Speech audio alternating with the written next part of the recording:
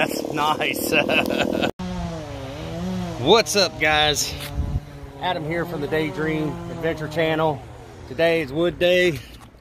John's up there getting, cutting everything up. As you can see, there's a bunch up there left to get. I'm uh, basically wagoning it down here. I guess that's how you say that. So I've got about, I don't know, it's a Nissan Frontier, so it's got a tiny little bed, four foot bed on it. But look what we found. We found a nice, beautiful piece of cedar.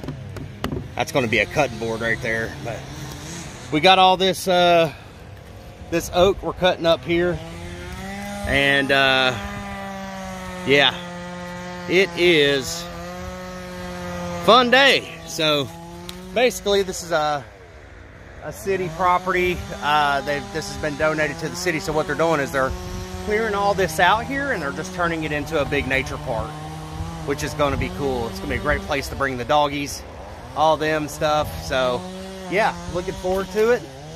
Let's let's get it going.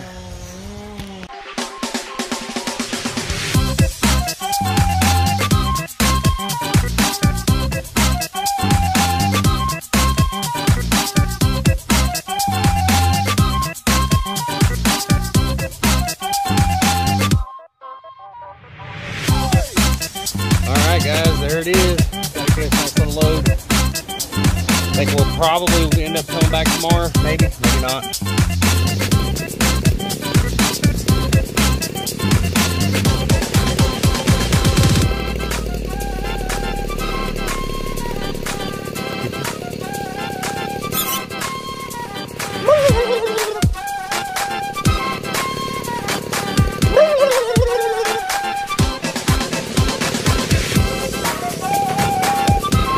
All right, guys, there's our there's our pile of wood we got going here.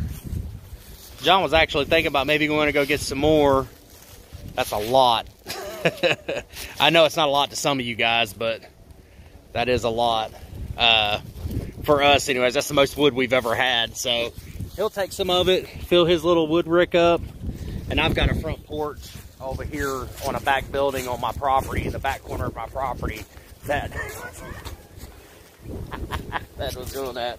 So that's going to be all for that.